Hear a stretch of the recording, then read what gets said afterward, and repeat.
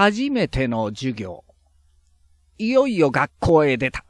初めて教場へ入って、高いところへ乗った時は、なんだか変だった。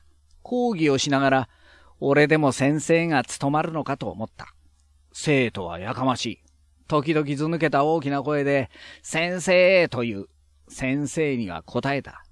今まで物理学校で毎日、先生先生と呼びつけていたが、先生と呼ぶのと呼ばれるのとは天地の差だ。なんだか足の裏がムズムズする。俺は卑怯な人間ではない。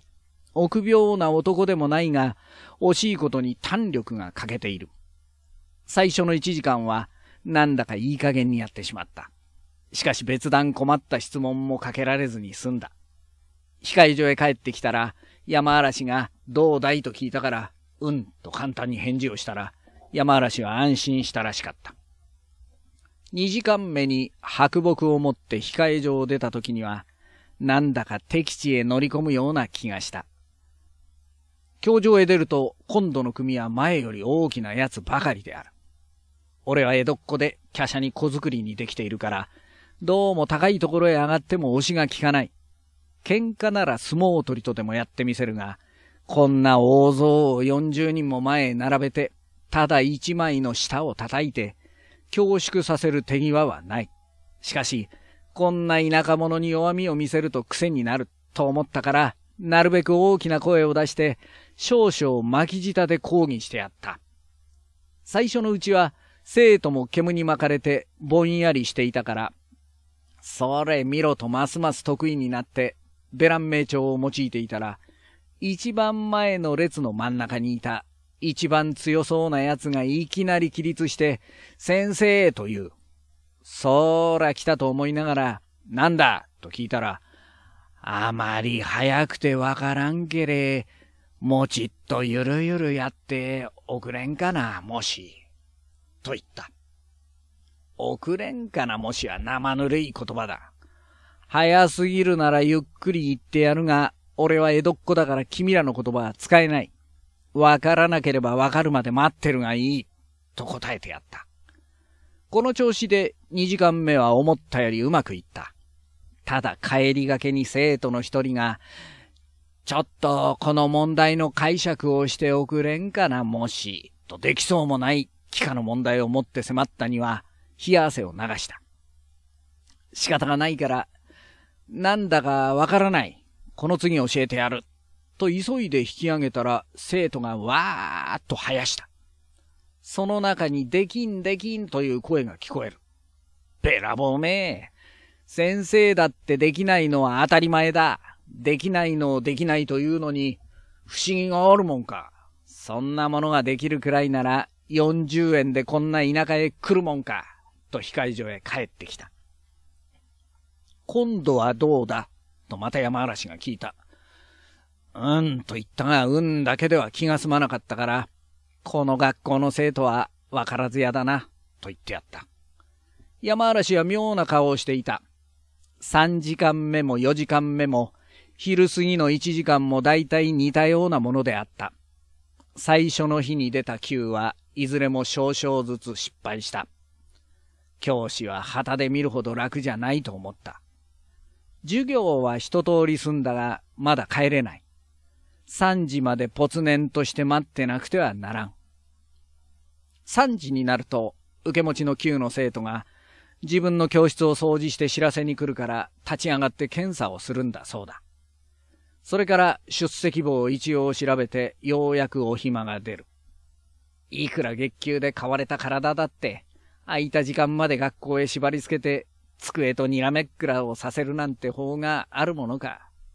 しかし、他の連中はみんなおとなしく、ご規則通りやってるから、新参の俺ばかり、ダダをこねるのもよろしくないと思って我慢していた。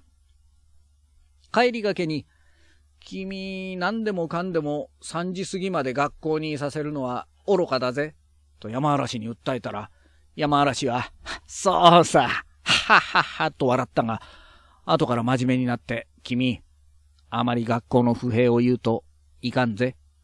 言うなら僕だけに話せ。ずいぶん妙な人もいるからな。と忠告がましいことを言った。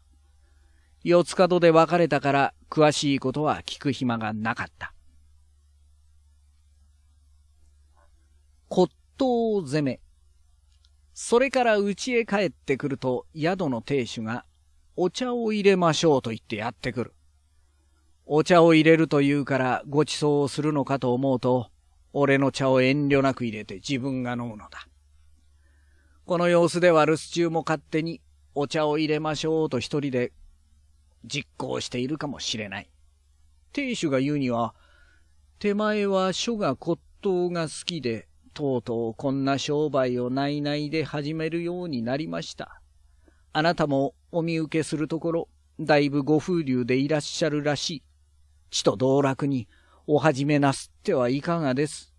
ととんでもない誘いをする。今日まで見損なわれたことは随分あるが、まだ俺を捕まえてだいぶご風流でいらっしゃるといったものはない。大抵はなりや様子でもわかる。風流人なんていうものは絵を見ても頭巾をかぶるか短冊を持ってるものだ。この俺を風流人だなどと真面目に言うのはただの癖者じゃない。俺はそんなのんきな隠居のやるようなことは嫌いだ。と言ったら、亭主はへへへへと笑いながら、いえ、初めから好きなものはどなたもございませんが、一旦この道に入るとなかなか出られません。と一人で茶をついで、妙な手つきをして飲んでいる。実は夕べ、茶を買ってくれと頼んでおいたのだが、こんな苦い濃い茶は嫌だ。一杯飲むと胃に応えるような気がする。今度からもっと苦くないものを買ってくれと言ったら、かしこまりましたとまた一杯急須のでなくなるまで傾けて飲んだ。人の茶だと思ってむやみに飲むやつだ。主人が引き下がってから明日の下読みをしてすぐ寝てしまった。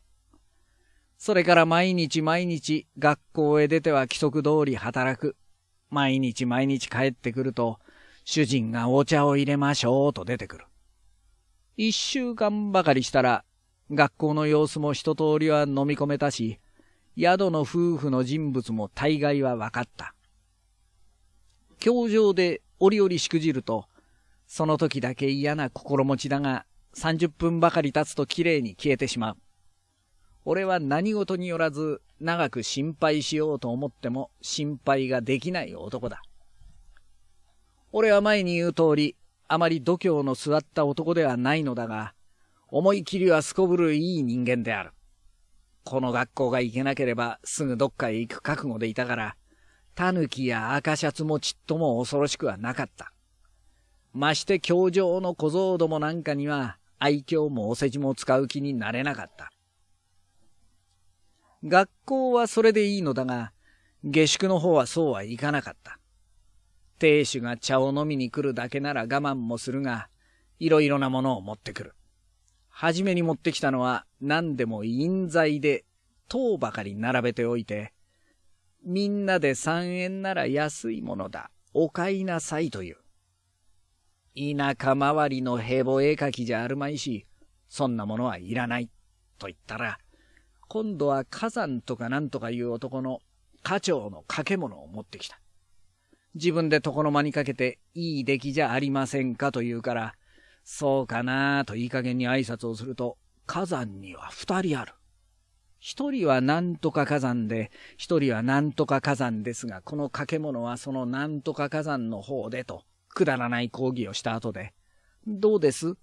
あなたなら十五円にしておきます。お買いなさい。と催促をする。金がないと断ると、金なんかいつでもよろしゅうございますと、なかなか頑固だ。金があっても買わないんだ。とその時は、追っ払っちまった。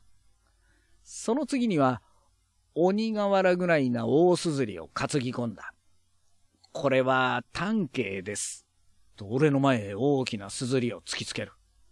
いくらだ？と聞くと、持ち主が中国から持って帰ってきて、ぜひ売りたいと言いますから、お安くして30円にしておきましょうという。この男は馬鹿に違いない。学校の方はどうかこうか無事に務まりそうだが、骨董攻めにあってはとても長く続きそうにない。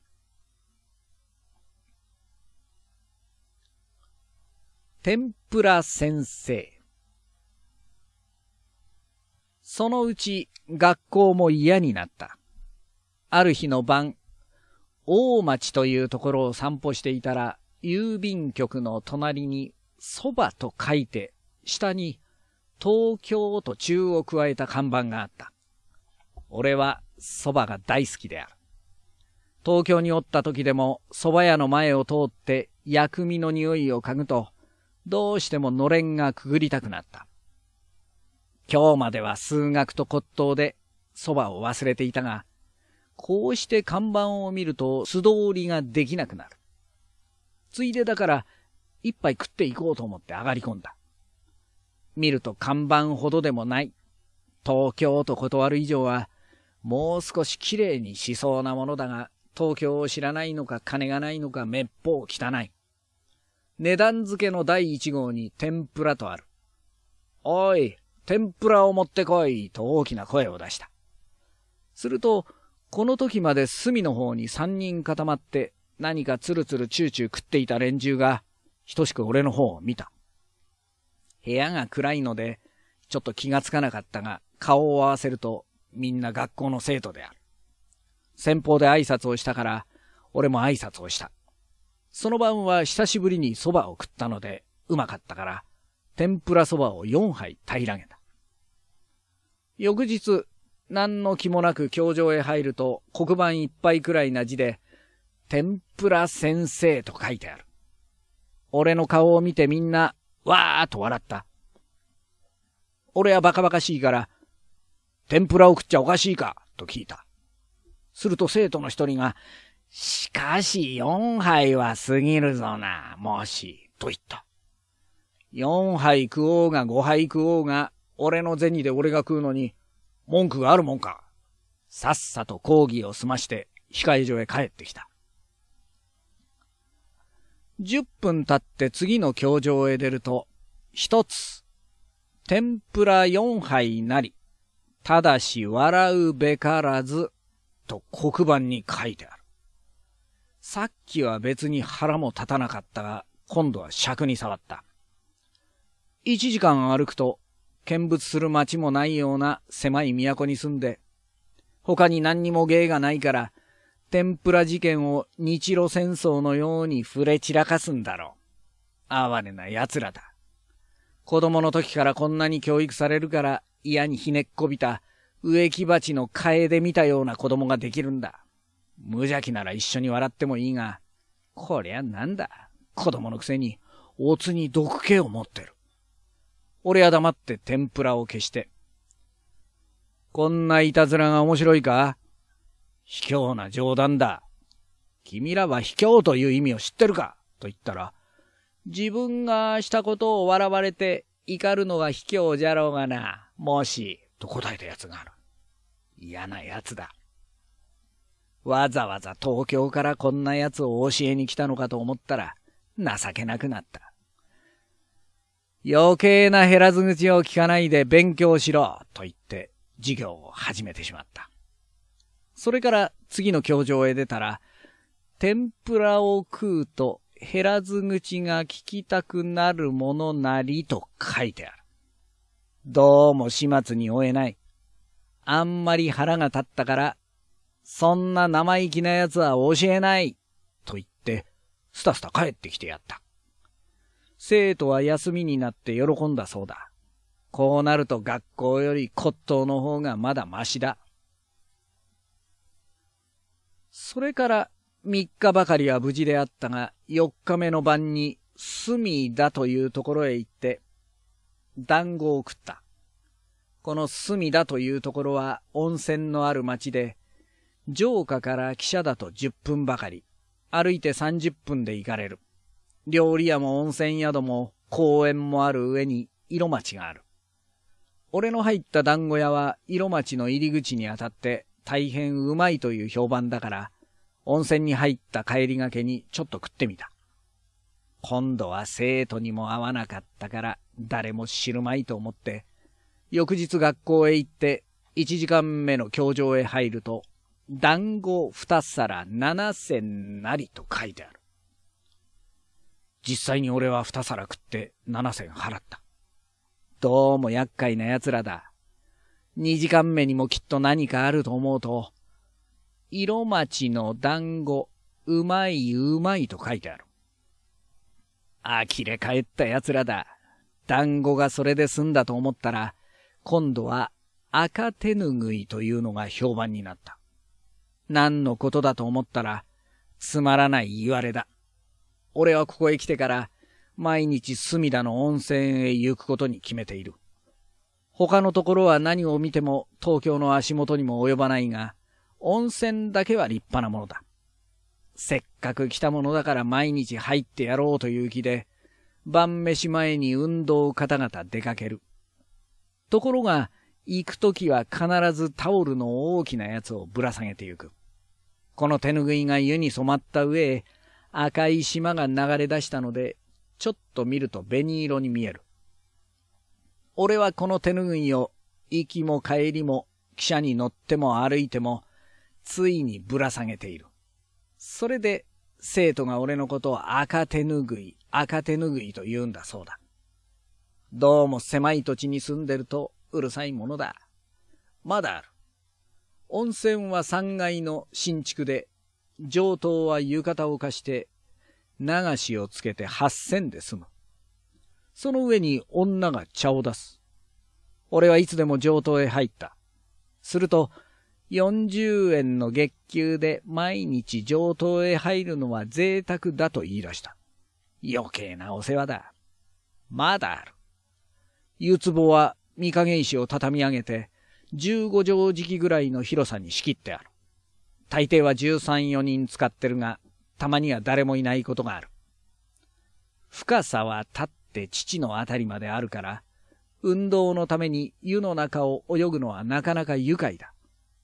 俺は人のいないのを見すましては、15畳の湯壺を泳ぎ回って喜んでいた。ところがある日、3階から威勢よく降りて、今日も泳げるかなと、風呂の入り口を覗いてみると、大きな札へ黒黒と湯の中で泳ぐべからずと書いて貼り付けてある。湯の中で泳ぐものはあまりあるまいから、この貼り札は俺のために特別に新調したのかもしれない。俺はそれから泳ぐのを諦めた。泳ぐのは諦めたが、学校へ出てみると、例の通り黒板に、湯の中で泳ぐべからずと書いてあるには驚いた。なんだか生徒全体が俺一人を探偵しているように思われた。くさくさした。生徒が何を言ったってやろうと思ったことをやめるような俺ではないが、なんでこんな狭苦しい鼻の先が使えるようなところへ来たのかと思うと、情けなくなった。それで家へ帰ると相変わらず骨董攻めである。